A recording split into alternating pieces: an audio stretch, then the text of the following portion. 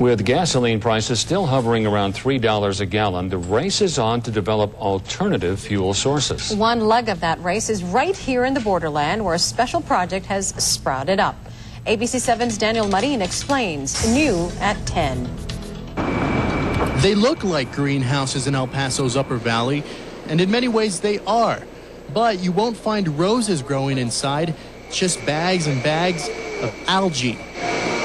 Believe it or not, all this green slime could just be the cure for the world's so called pain at the pump. The algae is used to make biodiesel. As the slime grows, it makes a kind of vegetable oil. Just like you would find in sunflower seed or soybean. That oil can then be processed into fuel. We have fuel replacement opportunity here at the, at the right price. Doug Frater is the CEO of Global Green Solutions. Then gravity does the rest. The man guiding the tour is Glen Kertz, head of Valcent Products.